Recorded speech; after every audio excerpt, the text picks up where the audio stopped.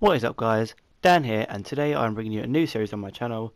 As you can tell by the title it's called Traders Lewandowski. And obviously if you play FIFA or if you just watch football or follow football in general, you would know that uh, Lewandowski got or scored 5 goals in 9 minutes. I believe it was against Wolfsburg. And on FIFA he got a hero card which costs around 800 900k. Um, so yeah, basically this in this series I'm just going to be trading to get Lewandowski basically, hence the title trading to Lewandowski. Um, but yeah, um, this is the first episode, so obviously I won't be able to go out and buy a Neymar for 300k and sell him on for 500k, for example, or people like that.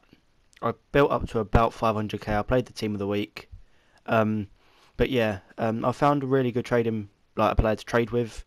Joel Campbell, as you can see here, is um, his maximum by now usually is around 2k. And if you like, obviously EA take away the five percent, but I'll pick one up there for 1.7k, sell him on for 1.9k, just below the maximum. Um, I know he's got a finished chemistry style on, but chemistry styles don't matter as much, I don't think, as the actual player. So yeah, I sold him on, made a couple of hundred coins profit there, um, and like 1,600, that's like 300 coins profit straight away. So within two players, I've got like nearly 500 coins profit because EA take away tax and stuff like that because they're greedy bastards.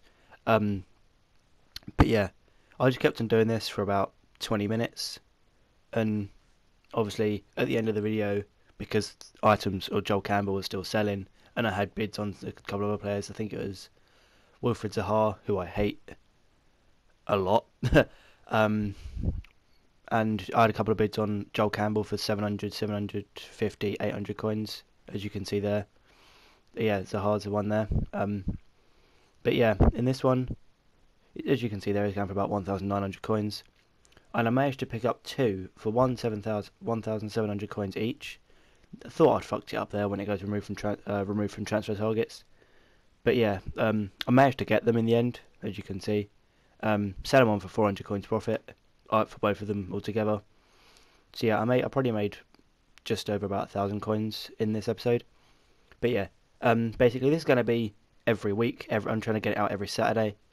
But if this can get um, 10 likes, then I'll bring it out as that day as, or as soon as I can from as soon as it hits 10 likes. Um, but yeah, this has been DB Plays. Hope you enjoyed the video. If you did, leave a like. If it gets 10 likes, I'll bring it out as soon as I can. If not, it'll be every Saturday or weekend. Um, but yeah, I'll be telling you trading tips and stuff in this series.